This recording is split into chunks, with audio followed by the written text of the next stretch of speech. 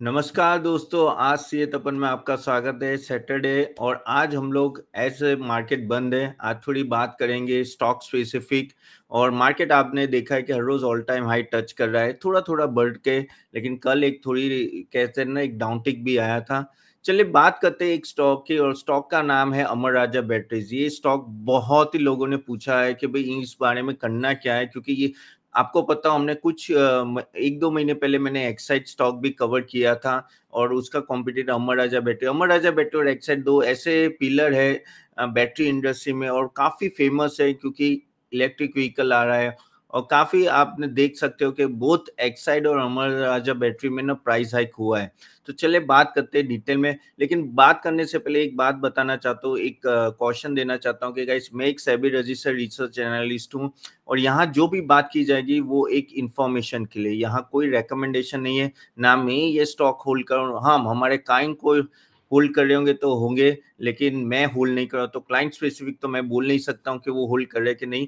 लेकिन हाँ ये स्टॉक एज ए इंफॉर्मेशन की तरह ही आप लेना ये जो भी सजेशन मैं यहाँ से दूँगा वो। चलिए डिटेल में जाते हैं तो डिटेल में बात करेंगे अमराजा बैटरी के बारे में। तो अमराजा बैटरी में एक प्रेजेंटेशन शेयर कर लेता हूँ। ओवरऑल अगर आप ये स्टॉक देखो ना तो बीच में वो कोई एक्चुअली इतनी चहल पहल नहीं थी वो स्टॉक के बारे में। आ, लेकिन at the end of the day अगर आप हम लोग पिछले नवंबर से अगर आप देखो तो काफ़ी एक अच्छा खासा अपटिक है।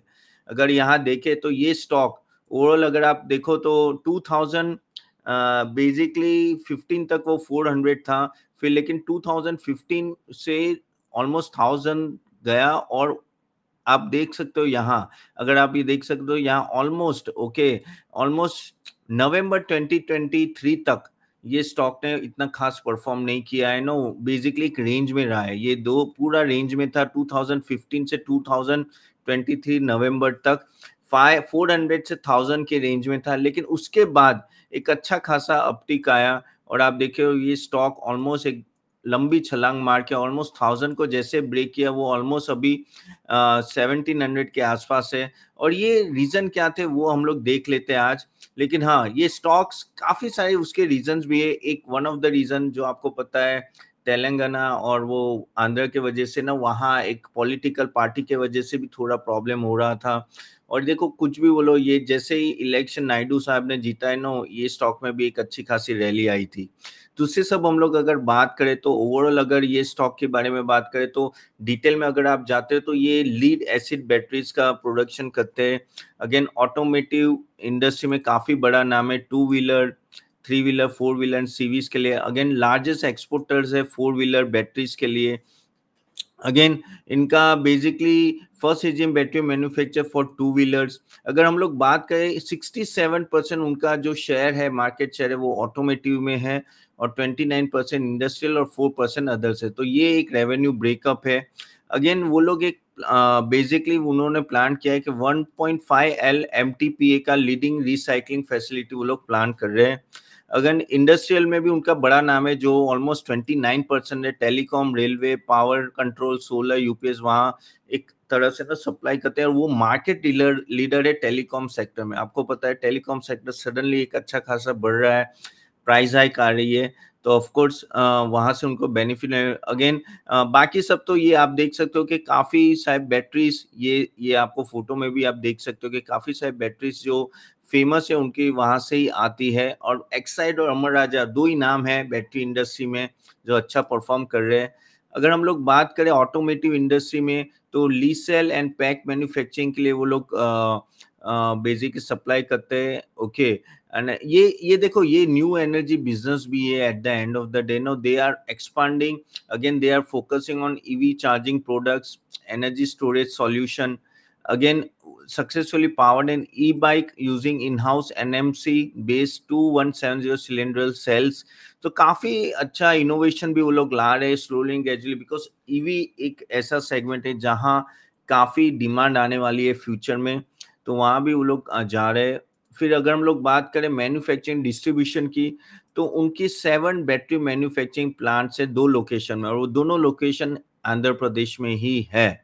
ओके? okay. अगर हम लोग ऑटोमेटिव की बात करें तो 15 एम एन एनुअलाइज कैपेसिटी है और इंडस्ट्रीज़ के लिए 2.5 बिलियन एच की कैपेसिटी है। Again they are actually also plan plastic division plan Mangalam of Mangalam industry ये ये जो है वो अप्रैल वन 2022 से इफ़ेक्टिव हुआ था। ये रीजन लाने का था कि उनको मार्जिन में एक बूस्ट बूस्टर चाहिए था और दैट्स वाई नो ये प्लान चालू हुआ था।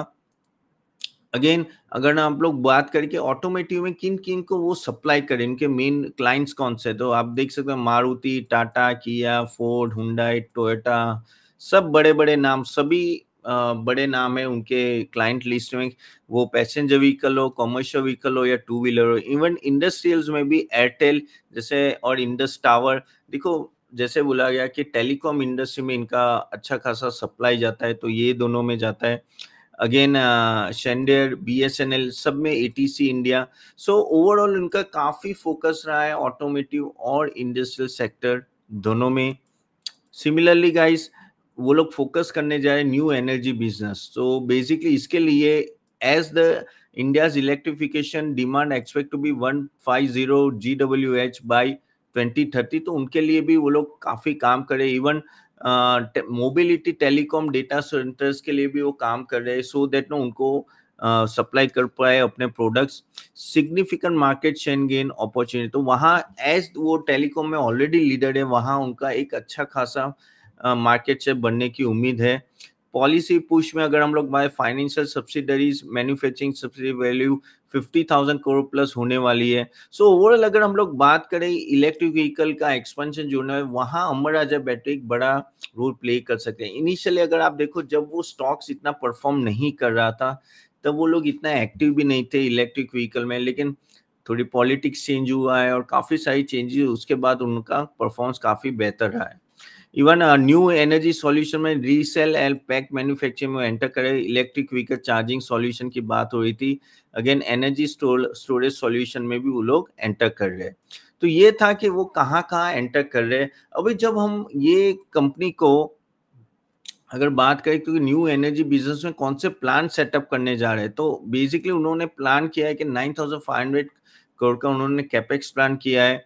Again E positive energy labs वो लोग फॉर्म कर रहे हैं।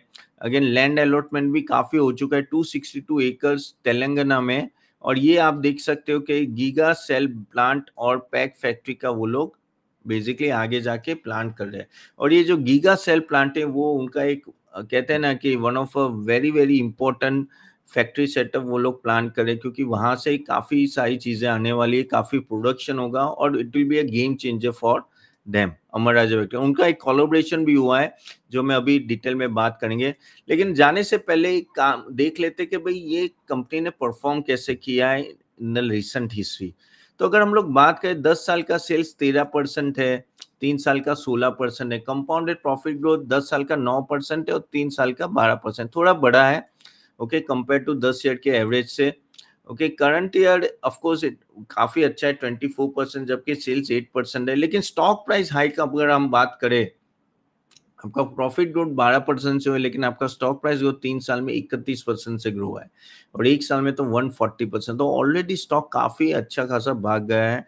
इवन रिटर्न ऑन इक्विटी की हम लोग बात करें तो पंद्रह परसेंट का इस यहाँ जो मैं बोलने जा रहा हूँ, वो आपको सिर्फ़ आईना दिखा रहा हूँ और फ्यूचर प्रोस्पेक्ट की बात करें लेस्ट आपका डिसीज़न लेना है, नहीं लेना है। लेकिन हाँ हम लोग, मैं आपको ओवरऑल गाइडेंस दूँगा कि यहाँ से आप क्या कर सकते हो।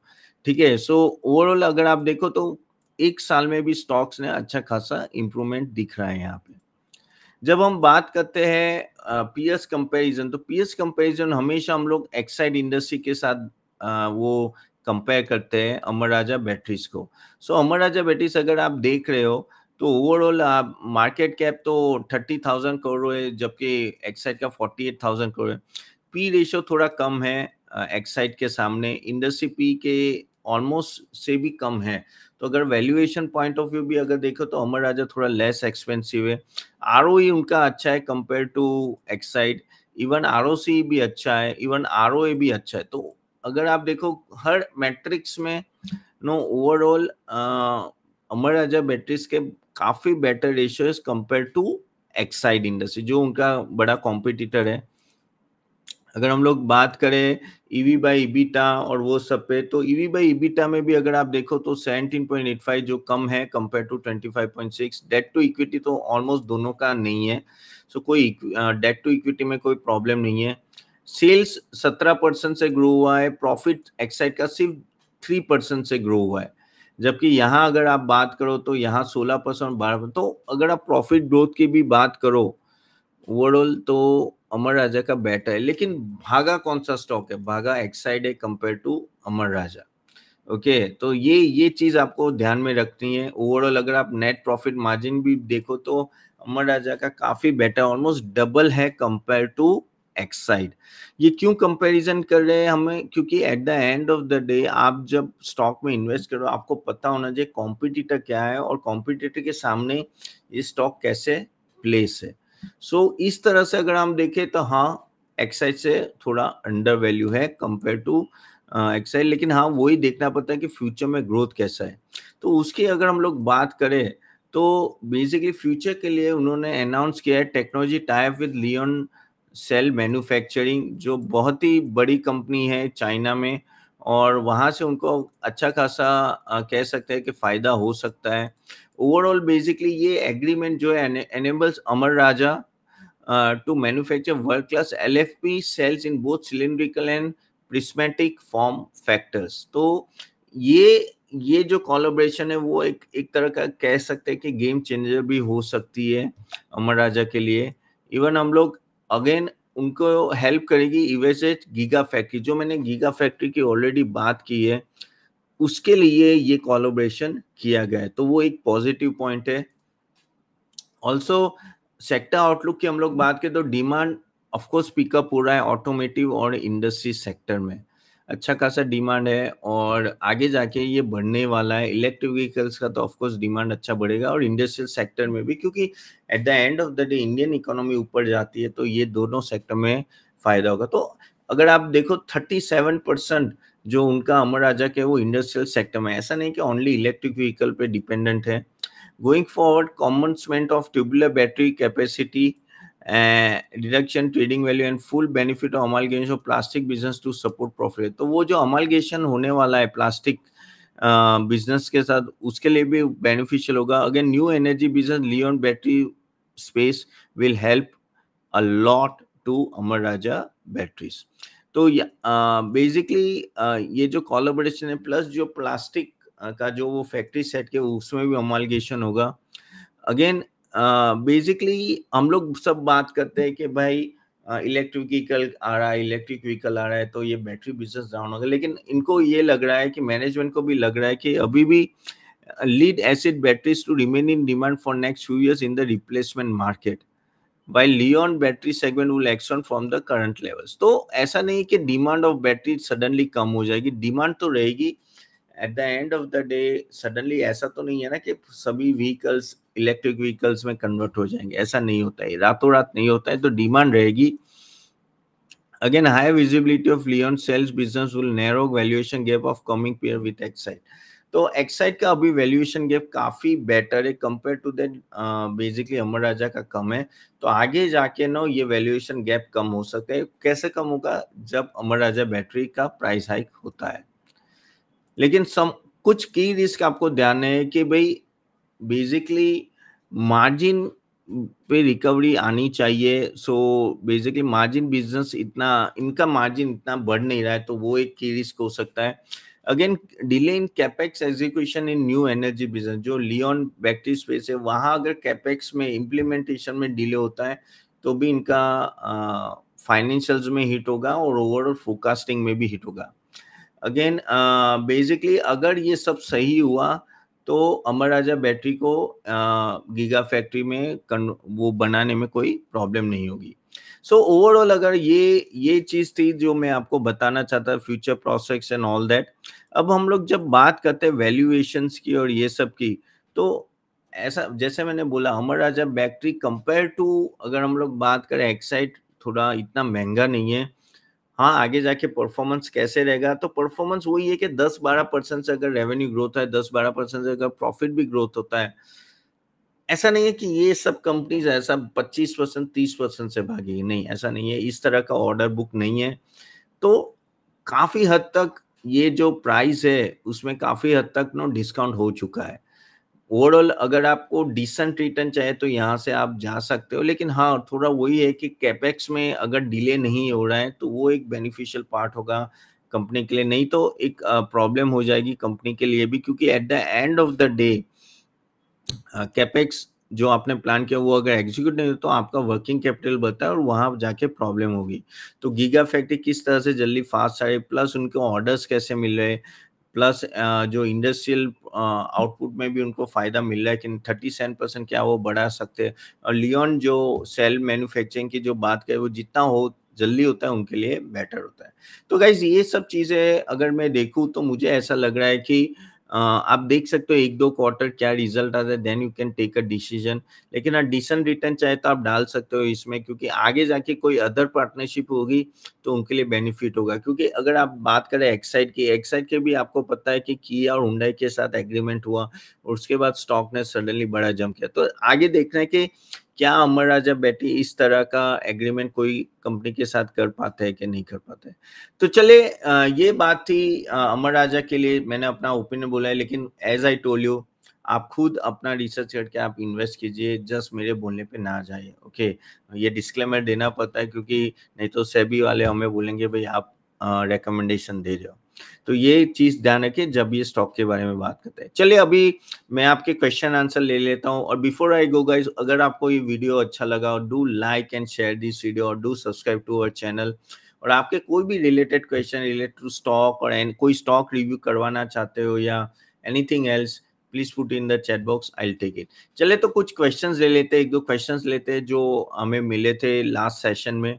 सो so, एक क्वेश्चन है कि सर क्या लग रहा है कि what will happen to the renewable companies Ashok Das का क्वेश्चन है। अशोक दास रिन्यूएबल्स में देखो एक ही प्रॉब्लम आ रही है जो अभी कि उनके वैल्यूएशन काफ़ी हाई चले गए और on the thinking that okay आगे जाके ये सब कंपनी अच्छी परफॉर्म करेगी तो इनका पी रेशियो ऑलरेडी काफ़ी हद तक बढ़ चुका है।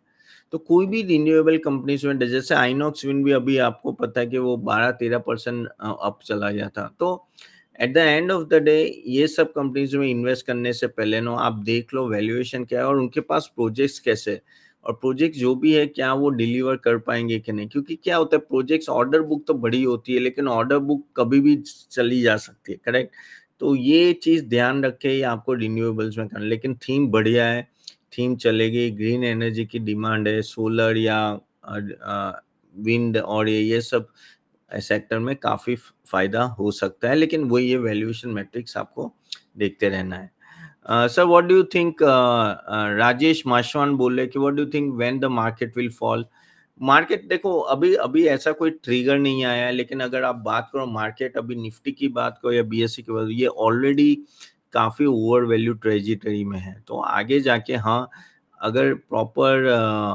रनिंग सीज़न नहीं गई है जुलाई की और मानसून अच्छा नहीं रहा तो एक प्रॉब्लम आ सकती है। या तो फिर आ, बात हुई कि भाई यूएस में कभी इंटरेस्ट रेट कट नहीं होगा तो भी एक मार्केट गिर सकता क्योंकि ये ऑलरेडी बहुत ही लॉन्ग है 84 परसेंट लॉन्ग पोजिशन है और इस पोजिशन में वही होता है हमेशा डर रहता है कि क्या मार्केट गिर जाएगा बहुत बुरी तरह से। तो थोड़ा कॉशियस होकर आपको जाना है। जितेंद्र बाबू बोल रहे they is asking a question के सर क्या लग रहा है आईटी स्टॉक में रिकवरी आई है और इन्फोसिस में क्या लग रहा है आपको? ओवरऑल आईटी स्टॉक में ऑफ़ कोर्स रिकवरी आई। पिछले एक डेढ़ महीने से बात करें तो नो आईटी स्टॉक्स ने ज़्यादा अच्छा परफॉर्म किया। इन्फोसिस में भी बहुत अच्छी रिकवरी आई है। लेकिन वही है कि क्या इन्फोसिस उस तरह का डिलीवर कर डबल डिजिट में मार्जिन ले जाएगा क्या? और वो सब चीज़ें आपको देखनी है और गाइडेंस कैसे आता है? और ओवरऑल अगर आप बात करो इन्फोसिस ने पहली बार ऐसा हुआ कि रिज़ल्ट आने से पहले पंद्रह बीस परसेंट बढ़ चुका है। तो आ, इन ऐसा नहीं है कि next two three quarters can be a tough one for IT industry also लेकिन आपको अगर बॉटम फिशिंग करने तो आप कर सकते हो आईटी इंडस्ट्री में। तो लेकिन रिकवरी कैसे होगी वो हमें एक दो महीने के बाद ही पता चलेगा, ठीक है? चले तो बस यहाँ तक रखते हैं। आपके कोई क्वेश्चन है कमेंट बॉक्स में ज़रूर डालिएगा, मैं नेक्स्ट टाइम लूँगा। तो hope you like the video और अगर आपको समझना है कि इस तरह से स्टॉक सिलेक्शन भी कैसे और कैसे रिसर्च करते हैं, मैं लिंक दूँगा हमारे मास्टर वर्कशॉप का और वहाँ आप अटेंड कर सकते हो, ठीक है? चले thank you very much guys see you then bye bye next video